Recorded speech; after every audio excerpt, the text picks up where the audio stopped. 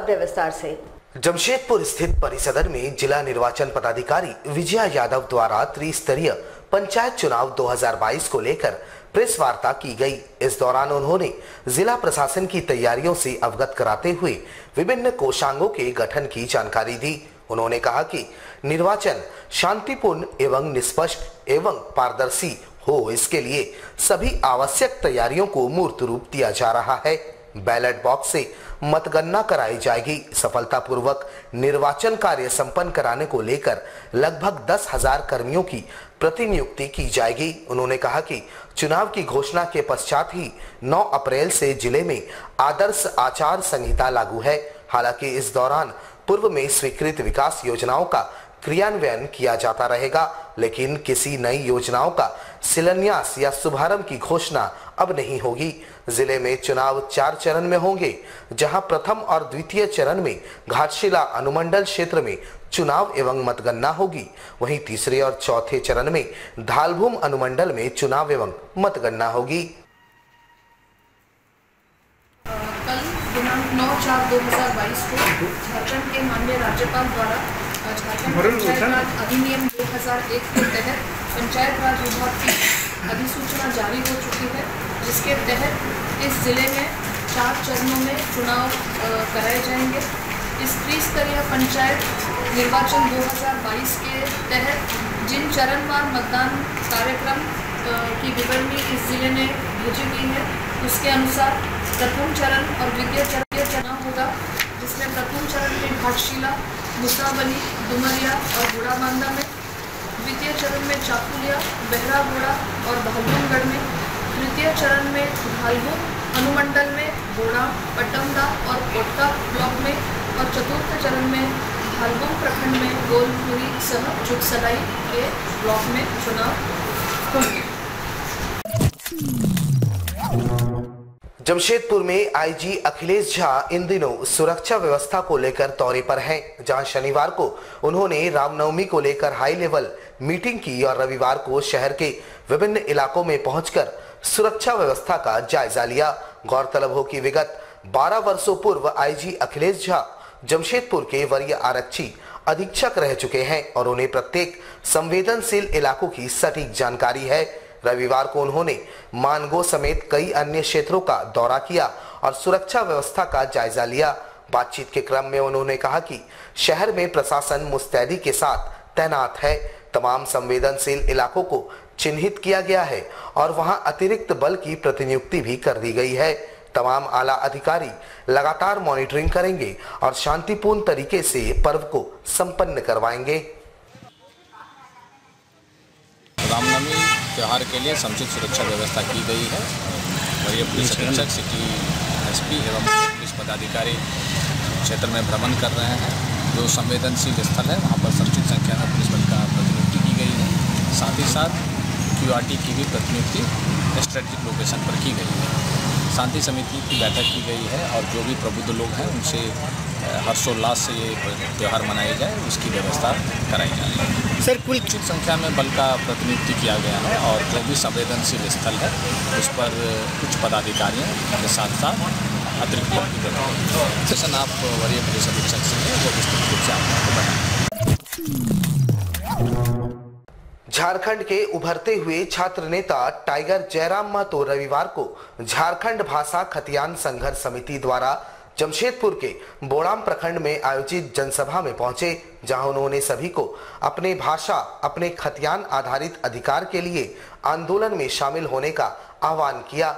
गौरतलब हो कि टाइगर जयराम महतो ने बोकारो और धनबाद से इसकी शुरुआत की थी और अब उनकी टीम इस मुद्दे को लेकर राज्य के कोने कोने में प्रचार प्रसार कर रही है।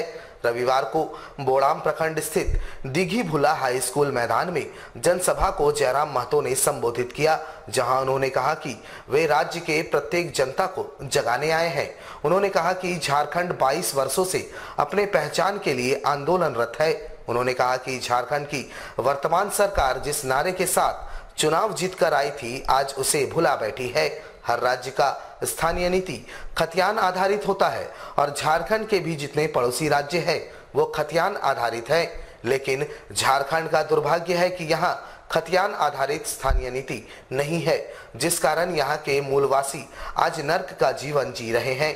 उन्होंने कहा कि उनकी और उनकी टीम की मांग है कि 1932 के खतियान के आधार पर स्थानीय नीति लागू की जाए, तभी जाकर यहाँ के मूलवासियों को उनका अधिकार मिलेगा।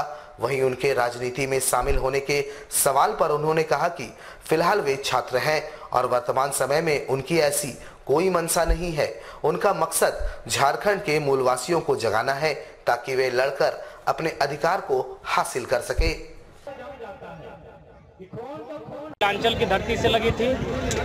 और इससे पहले आग कोयला में लगता था, लेकिन इस पर भाषा के नाम पे लगा है। भाषा से होते हुए खतियान तक पहुँचा है और कोल्हान आने का मकसद है।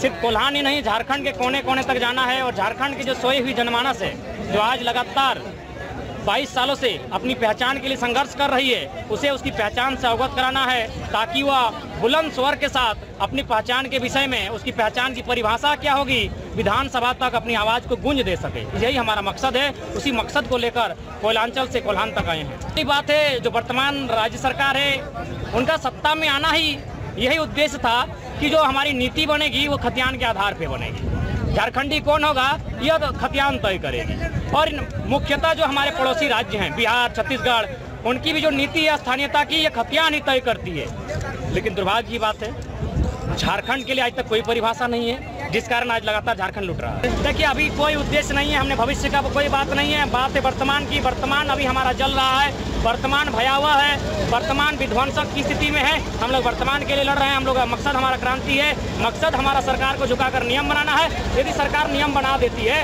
तो स्टूडेंट को राजनीति करने क्या हो सकता है? वो वैकेंसी जो आएगी, उसकी तैयारी करेंगी वे जेपीएससी की तैयारी करेंगे वे सीजीएल की तैयारी करेंगे, कोई इंटेंस नहीं है।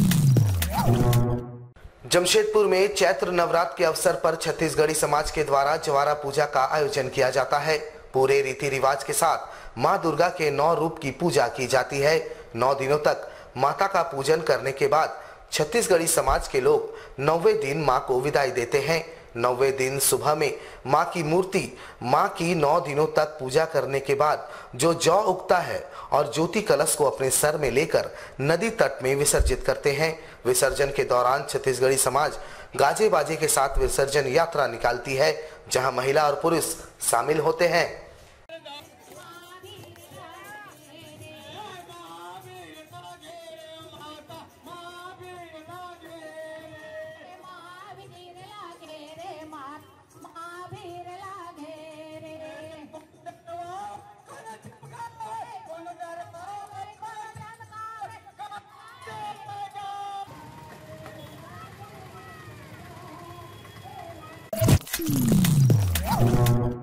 जमशेदपुर में लगभग सभी आनंद मार्गी महिला संबंधित बीमारियों से निजात पाने के लिए बाबा श्री श्री आनंद मूर्ति जी के बताए गए लाल फूल वाला अशोक के फूल का खाली पेट सुबह में सेवन किया। लाल फूल वाला सीता अशोक फल, गदरा आनंद मार्ग, जागृति आश्रम, सुनील आनंद के घर से एवं अन्य विभिन्न जगहों से सीता अशोक का लाल फूल सभी महिला आनंद मार्गियों को दिया गया। ताकि इसका सेवन कर सके।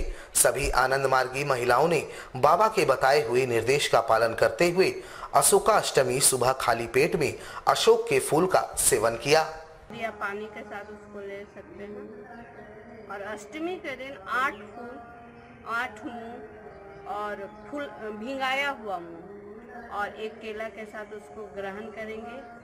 दिन भर फल फूल खाएँगे। भी लड़कियों के लिए और सभी नारिया के लिए है। ये विधवा औरत भी कर सकती हैं और वो भी उपवास करेंगे। जमशेदपुर में पड़ रहे भीषण गर्मी को देखते हुए मारवाड़ी युवा मंच स्टील सिटी टाटानगर इकाई की ओर से चलंत अमृत धारा प्याव का उद्घाटन किया गया जो अगले दो महीनों तक संचालित होगा। यह प्याव शहर के अलग अलग हिस्सों में घूम घूम कर राहगीरों को शुद्ध और शीतल पेयजल उपलब्ध कराएगी।